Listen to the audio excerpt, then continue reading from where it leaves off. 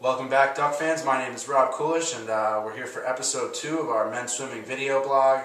Uh, Joe Huyett, sophomore men's swimmer. Joe, thanks for spending the time again. Um, you guys are coming off a pretty good win, off oh, you know, convincing win over Misericordia, if you will. Um, eight different winners. What's it like to kind of have a, such a versatile team, and you know, where does that kind of put you when you start looking, you know, ahead to the championship season? Well, it, it's really great that you know you look at any event and we have more than one person that could probably go and win that event in our dual meets. Um, you know, it's, it's really good having that depth, especially when it comes down to relays. Um, you know, we can field an A relay and a B relay most of the times that are competitive in our conference.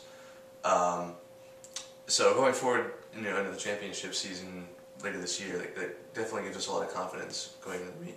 Um, you guys, you you had a 16 event um, meet against Montclair, then you had 14. You guys have had the top time in 29 of 30 events. Um, how do you stay focused during the meet? If you, you know, I don't want to say it's so, it, it looks easy, but I mean I've been there for both of them. It looks easy. Well, um, our coaches are really big on um, being in the right mindset during a meet. You know, we get breaks during the meet where um, they emphasize getting back in the pool, warming up, warming down, making sure that you know you get up and give 100% in one event. By the time your next event comes up, you need to be ready to give 100% again. So that's a big emphasis on our team. Um, last kind of question before we get into, I guess, the theme of today, if you will. But um, you now have some time off, and we were talking a little earlier um, about shaving and tapering and, and things like that. Um, you said last week was extremely hard. This week is extremely hard. Then you guys kind of rest up a little bit. Yep, yep, looking forward to into it. ECACs. Uh huh. Um, so it, it's actually really cool because since we've been all swimming really fast um, up through this point in the season, now looking ahead to shaving tapering for ECACs, we're expecting some pretty big time drops. Um, it'll be cool to see. Uh, you know, last year we had um, John Hu, Alex Benham, Evans, you know, a lot of uh, individual qualifiers, and this year we could be putting up a lot more um, on top of the relays that qualified. So hopefully, if we get some of those times at our winter championship meet, then you know we don't even have to think about it at, in the spring. Um, now the ECAC is December 12th, or December I think 2nd through the 4th. Mhm. Um, so you guys got a lot of time there. So we'll kind of talk about that as, as we lead up to that a little bit more. Now um, we're going to do a little bit of a almost I guess if you don't want to take it from David Letterman, almost like a Stevens top 10. So I I said to Joe, uh, I believe Saturday morning before the meet, I emailed him and I was just like, you know, maybe we can do a Stevens top 10. Your top, you know, your favorite 10 favorite things about Stevens. So. You know, I I see he has a little bit of a list. I don't know if you need to refer to it, back, backup plan. All right. you're, you're all you. Okay.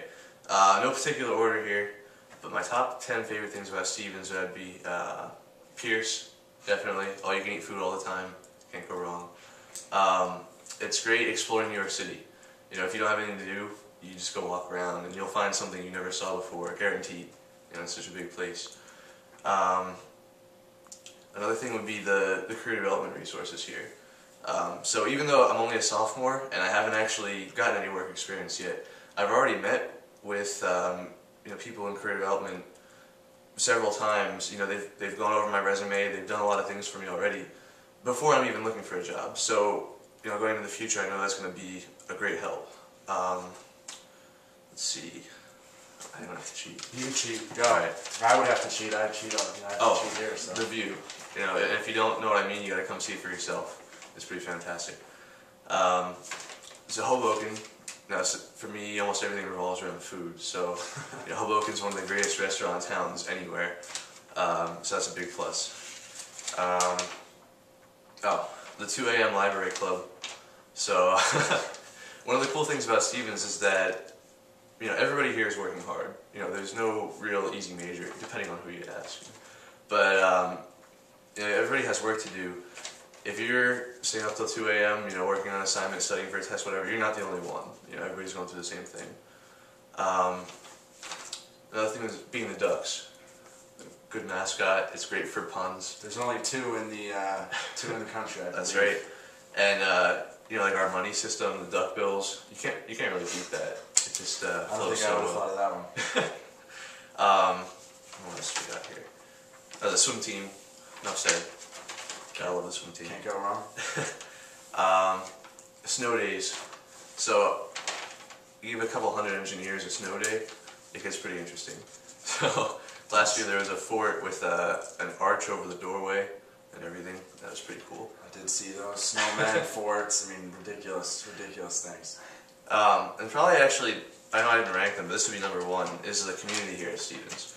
Now, before I came here and after I came here, you really get a sense that like everybody um, in administration, the professors, the coaches, everybody here wants you to be here and wants you to succeed, which I think is probably the best thing about Stevens for me. Uh, I think that's I think that's a pretty good list. I think uh, your nah, yeah yeah your classmate Luis I think she'll have a tough time topping that list. Um, but no, Joe, thanks for the time. Um, No problem, man. next weekend, uh, next Monday, we'll be right back here with episode three. Um, for all your latest on Stevens swimming, uh, visit stevensducks.com.